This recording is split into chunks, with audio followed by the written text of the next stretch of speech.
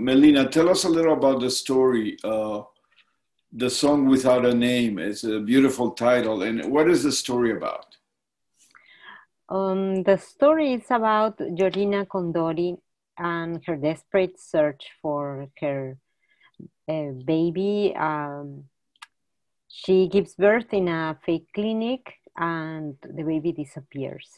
So Georgina is a very young indigenous woman from the Andes of Peru who has just arrived to, to the city and um, she doesn't have access to any kind of uh, health support. So when she hears in the radio that there is this foundation giving giving help um, to pregnant women, she she goes and and uh, gives birth there, and um, the baby disappears. So the film is about that and about her search, her life, her struggle to to find the baby, and um, the relationship she she starts to lose with her husband, and also a relationship she starts building with a journalist who happens to have his own um, story, and we're gonna see about him too.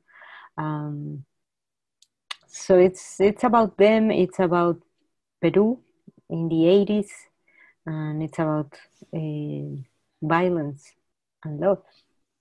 Do you think uh, through movies we can bring uh, different cultures together? I think so. I think so. I think we can bring uh, people together. I think we we start know it's the best way to know people to to see them on the screen, to see their lives on the screen. Uh, that's when you start caring, know. Like you you start uh, you become curious about the other, and uh, you start loving them. People sometimes gets annoyed when, for example, something happens in the United States and everyone cares uh, about it. And I say, don't be mad because people is is is cares about the the U.S. We have to care about everybody, but this happens in, many ways because of movies. Because we watch American movies, so we have to watch our own movies too, so that we care about us, uh, about ourselves, and about Latin America and about the world. So the more movies, the more um, diverse uh, storytelling is, uh, the better. It's true. We, in some cases, we know more about the U.S. Than our own countries, and that's because we're invited with films from. Uh, they're always happening in New York, Los Angeles, or anywhere, and there are stories that become part of our lives. So I agree that we need to see more films from all over the world. Yes.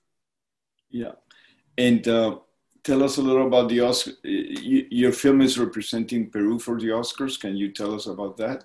How important is it for you?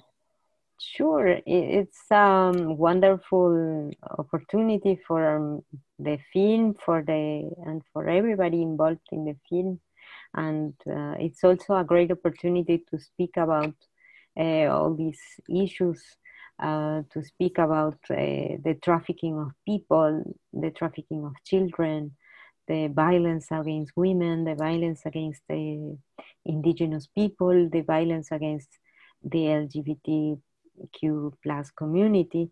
Uh, the film talks about all of that. It follows a story, the story of Georgina, her struggle, but it also shows you how we live, uh, coexist with these uh, ways of violence.